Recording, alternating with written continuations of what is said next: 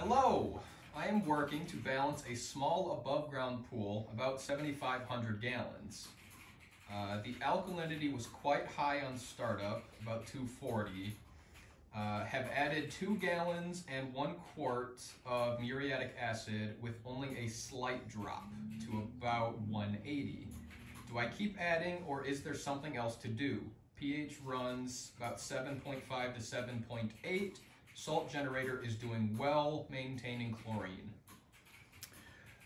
I guess my suggestion would be yes, keep treating with muriatic acid. What I would suggest you do though is shut the system off, add the muriatic acid. So maybe at night, I don't know how long you're running your system or not, your filter, but add the muriatic acid when the system is shut off and leave it off for a while.